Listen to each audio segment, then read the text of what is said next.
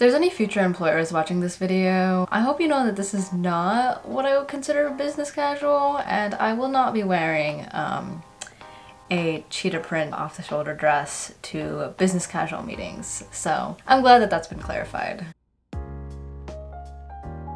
Hello everyone, my name is Maya and I'm joined with my pet gorilla Harambe and today I'd like to give you guys a little tour of what our prehistoric ancestors were wearing hundreds of thousands of years ago and kind of get into the history of prehistoric fashion. Now I've seen a lot of videos about the flappers of the 20s, the Victorian corsetry and bustles, the insane colors of the Rococo era, the wild poofy hair and leg warmers of the 80s, the dark emo goth 90s trends and the dreaded low-waisted jeans and crop tops of the early 2000s. But I haven't really seen a lot of videos ever touch on the styles and silhouettes of our prehistoric ancestors. So today, that is exactly what I'm here to bring to you guys, a history of prehistoric fashion. What kinds of hides were these people wearing? What kinds of jewelry did our ancestors sport? How did they accessorize with shoes? Shoes and fur trims and sandals and bracelets and necklaces and all of that fun stuff. Now, I'm using the term fashion pretty loosely because um, I wouldn't call killing and stripping animal hides so that you can cover yourself so that you don't die of frostbite and trying to survive every single day in glacial-like conditions during the Ice Age as um,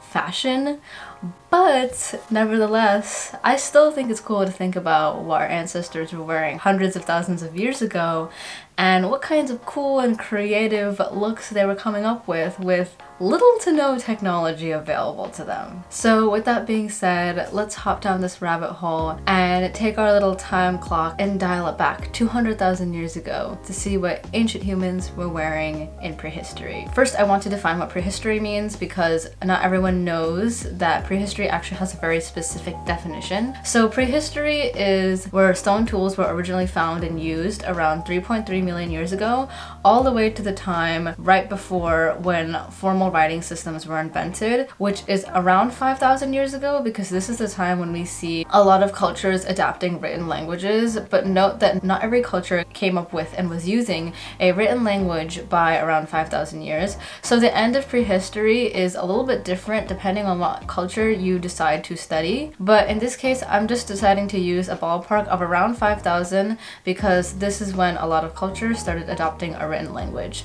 So prehistory spans 3.3 million years years ago to the first use of written language by anatomically modern humans. Now the first evidence that we have for when humans started wearing clothes actually comes from 170,000 years ago and it's not actually clothes. So one thing to note about clothes or in this case, the animal hides and furs that a lot of our anatomically modern human ancestors were wearing actually decompose really quickly and don't survive long in the fossil record. So we rarely ever actually find garments or clothes from this long ago just because the likelihood of them surviving is next to impossible. But we do have evidence in the form of clothing lice. So lice have always been a part of our existence. We've always uh, had lice, whether it's in our hair, but a bunch of geneticists actually calculated the date of divergence for when clothing lice diverged from head lice because clothing lice is actually genetically different from head lice. And so theoretically, when these two species of lice diverged, that is an indication that humans would have started wearing clothing. So basically, these researchers were able to figure out that clothing lice diverged from head lice at least 83,000 years ago and as early as 170,000 years ago. So this is our first kind of semi-tangible evidence for when we think humans started wearing clothes. Note that this date could be pushed back way earlier, but we won't really ever know because there isn't any clothing that has survived that long in our fossil record. So our next evidence that human beings started wearing clothing actually comes from 120,000 to 90,000 years ago from a cave in Spain. Basically, a bunch of bone tools were discovered in this cave that show that humans were kind of modeling and fashioning bones to kind of use them as end scrapers. And end scrapers are these stone tools that kind of strip all the flesh and guts from animals, leaving just the hide that humans would then wear as protection from glacial temperatures. So these kind of spatula-like stone tools were made from the ribs of foxes in this cave. And in order to create this kind of stone tool, the rib of the animal had to be dislocated and taken out. The rib was split in half. It was then reduced in size and then it was shaped by another stone tool and then used to kind of scrape the guts out of an animal so that you could put it on yourself and wear it like a nice new coat. This discovery of these bone tools that date back to 120,000 years ago, modern humans were basically already making stone tools for the purpose of making animal hides to use as clothing. Now around 78,000 years ago, we also see spatula-like bone tools for processing animal hides in caves in South Africa. And 61,000 years ago, we also get the discovery of bone needles in South Africa as well. Now bone needles were basically what you think bones that had been fashioned into needles where vegetable or animal fibers were threaded through and used to sew and make more complex clothing. Around 40,000 to 30,000 years ago, we find even more bone needles in caves across Eurasia and China. And around 10,000 years ago, the oldest pair of shoes was actually found. These shoes were actually found in a cave in Oregon and they were woven from tree bark. 10,000 years ago is also around the time where we see the first use of wool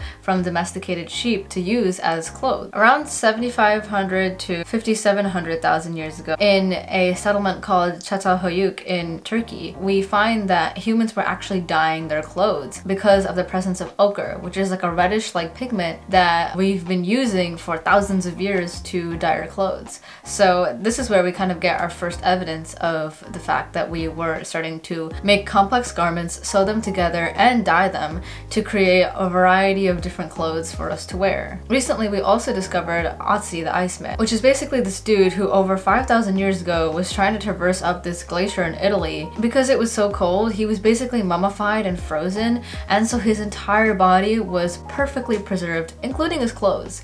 And this probably gives us one of the best insights as to what a 5,000 year old human was wearing. So what kind of trendy styles was Otzi sporting? So Otzi lived during the Copper Age around 5,000 years ago, and the clothes that he was wearing constituted a fur cap, a hide coat, a grass cloak, leggings, a belt, a loincloth, and a pair of shoes. So my man was heavily layered for the winters in Italy, and the drip was definitely winter chic if you ask me. A lot of these clothes like the cap and the coat and leggings constituted many different pieces that had been sewn together. Evidence of the fact that he was wearing complex clothing that had been stitched together. The stitching was made out of animal sinew and grasses. The fur cape was made out of a bear hide, and the clothing looked like it had been repaired several times over and over again so that it could be worn throughout his life. The inner shoes were composed of a grass-like netting and the outer part of the shoe was made out of a leather or fur-like material. So clearly the goal wasn't really to look stylish but more to keep warm during the cold seasons and also have clothes that you could wear for an entire lifetime instead of just being used and thrown out like many fast fashion brands today. Shein.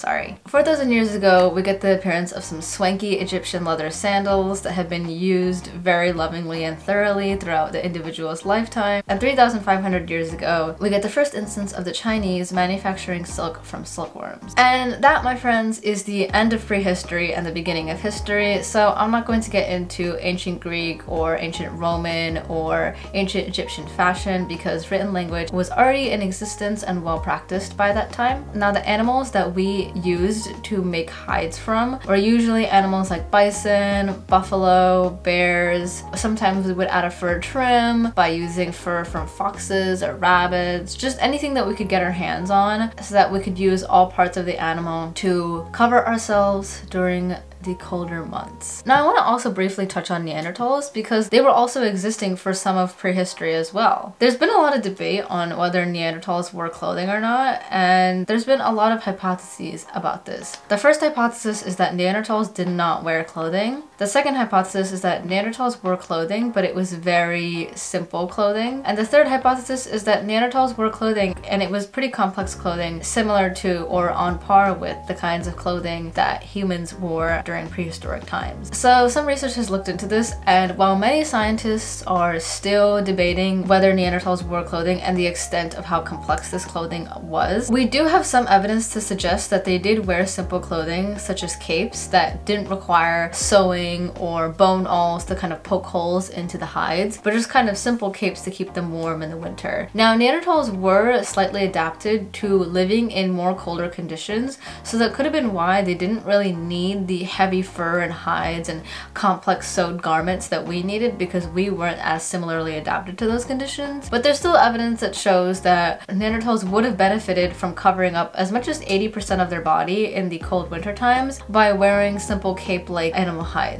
But note that there were Neanderthals living all the way from Spain all the way to Ireland and Wales, so different groups of Neanderthals probably had to wear different types of clothing or maybe not even wear clothing at all depending on where they live. And as for the types of animals that they would have butchered to use for this clothing, they probably would have used deer. Now there's also evidence that Neanderthals accessorized and sported some jewelry. White eagle talons were discovered in a cave in Croatia and dated to 130,000 years ago and designated to belong to Neanderthals. And these talons had been cut and grooved in a way so that they could be used as symbolic items of jewelry. In fact, there's been plenty of evidence that Neanderthals accessorized, evidenced by feathers, raptor talons, and shells that were used as pendants. Another site in modern day Spain, dated to around 50,000 years ago, found the presence of seashells that had been perforated so that they could have been strung on a string and be worn as a nice necklace. So there is some evidence that Neanderthals were accessorizing and they could have even worn some basic cape-like clothing to protect themselves from the cold temperatures of the Paleolithic. And with that, that brings me to the end of what prehistoric fashion looked like for humans as well as Neanderthals. What I think is even more interesting about prehistoric times is that these humans weren't trying to be fashionable, they weren't trying to be stylish, they weren't trying to follow trends. They were just trying to survive day in and day out without getting killed by insane woolly mammoths or saber-toothed tigers or freeze over by glacial temperatures during an ice age or melt to death. The focus was on survival. At the end of the day, clothing played a big part in our survival. Humans were never really adapted for the extreme glacial conditions that they had to deal with for thousands of years and making and processing these animal hides and sewing these complex garments was one of the reasons why we were able to survive these extreme temperatures and eventually go on in history and become successful. Without the creation of these garments, who knows if we would have even been able to survive past prehistory. I think it's really important to not only study fashion from a kind of stylistic and trend focused lens, but also a practical lens. The clothes that these prehistoric humans wore were not simply just clothes that they used and threw away when it was no longer stylish. These were pieces that these humans wore for their entire lives and repaired numerous times and probably passed down from family member to family member. And I think in a sense that that's kind of beautiful. It definitely puts our world today of fast fashion, sweatshops, poor working conditions, and the cycle of buying and throwing out clothing into perspective. Anyways, that's enough of a rant on fast fashion. I have way too many thoughts on that to count. If you guys have any interesting questions or topics about human evolution or human history that you're interested about, please let me know and I would love to do another deep dive or make another video about cool things about our history that I find fascinating. But I hope you guys enjoyed this video. Now, me and Harambe are going to practice making some stone tools. If you like this video, please give it a like. If you're interested in my content, please subscribe and follow for more. And I will you again very soon. Bye!